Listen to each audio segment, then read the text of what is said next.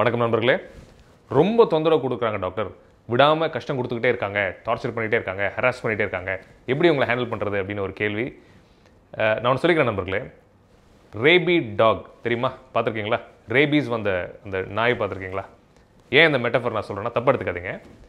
இந்த rapid talk என்ன பண்ணுன்னா இந்த சொரி நாயின்னு சொல்லுவாங்க சிம்பிளாக சொல்லலாம் தமிழில். என்ன பண்ணுன்னா விடாமல் குலைச்சிக்கிட்டே இருக்கும் யாரை பார்த்தாலும் கடிக்க போகும். பட் அது வந்து அந்த அந்த நாயோட தப்பு கிடையாது. அதுக்குள்ளே இருக்கிற வைரஸ் அந்த ரேபீஸ் வைரஸோட தப்பு. ப்ளஸ் நீங்கள் அந்த நாயை பார்த்தீங்கன்னா ரொம்ப சீக்கிரமாக சாக போகுது. ரேபிட் நாயை பார்த்தீங்கன்னா அது வந்த அந்த ரேபீஸ் இன்ஃபெக்ஷன் வந்ததுலேருந்து ஒரு ஷார்ட் டேர்மில் அது இறந்து போயிடும்.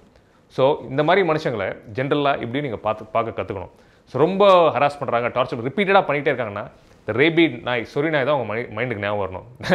இது தப்பான கண்ணோட்டத்தை நான் சொல்லலை ஒரு கேஷுவல் நோட்டில் சொல்கிறேன் ஏன்னா சி அந்த மாதிரி மனிதர்கள் அவங்க காலப்போக்கில் they will have their own death so it's அதாவது அவங்களோட அந்த அந்த மனசு இல்லை அந்த மாதிரி சிந்தனைகளே வந்து ஒரு virus it's it's bad for them அது அவங்க உடம்புக்கு நல்லது கிடையாது அவங்க மனசுக்கு நல்லது கிடையாது அவங்க வாழ்க்கைக்கு நல்லது கிடையாது. ஸோ அவங்க வெறி நாய் பிடிச்ச மனுஷன் மாதிரி கடிக்கிறாங்க குலைக்கிறாங்கன்னா நீங்கள் இறங்கி போய் சுரிநாயை கடிக்க முடியுமா? ஒரு சுரிநாய் உங்களை கடிக்க வருதா நீங்கள் போய் இறங்கி போய் கடிக்க முடியுமா?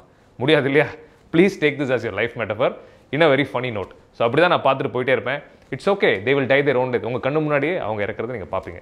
இறக்குறது what I mean is not physically அவங்களோட குணங்கள் அவங்களோட வாழ்க்கை வீழ்ச்சியை அவங்க கண் முன்னாடி நீங்கள் பார்ப்பீங்கன்றத நான் நினைக்கிறேன். ஸோ ஆக மொத்தத்தில் சுரிநாய் கடிக்குதுன்றதுக்காக திருப்பி நம்ம போய் கடிக்க வேண்டான்றது என்னோட தாழ்மையான வேண்டுகோள் நண்பர்களே. நன்றி.